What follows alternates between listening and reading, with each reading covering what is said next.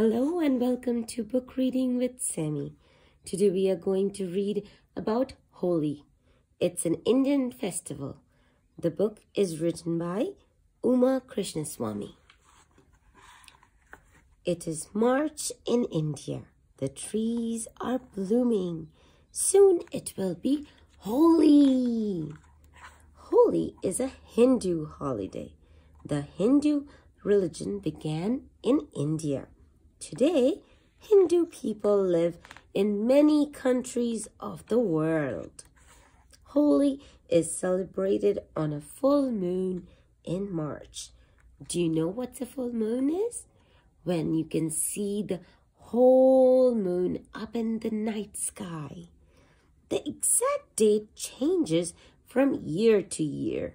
An old Hindu story tells of a wicked princess named Holika. She had magic powers that kept her safe from fire. Once she tried to kill her good nephew. She carried him into a big bonfire, but he did not get burned. The gods took Holika's powers away and she died. This is a statue of Holika and her nephew. People in northern India light bonfires on the night before Holi. Holi is celebrated to remind us that good wins over evil. Holi also marks the coming of spring. People clean and paint their houses to get ready for Holi. They buy new clothes, white clothes. Holi Day is here at last. People put bright red dots on each other's foreheads. The dots are called tika. People toss colored powder called gulal on everyone they see. On Holi Day, you may throw gulal even on people you don't know. People also toss colored water on each other. Some use a squatter called a pitchkari.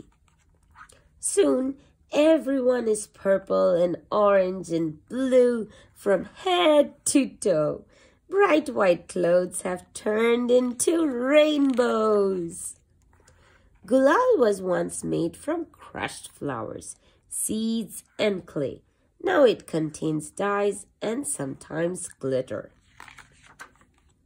Some people visit the temple on Holi.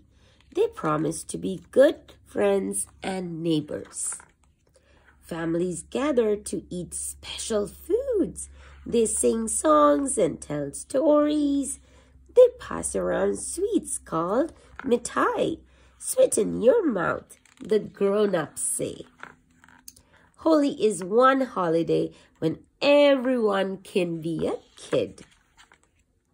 Words you know, blooming, bonfire, friends, gulal, mithai, pitchkari, tika.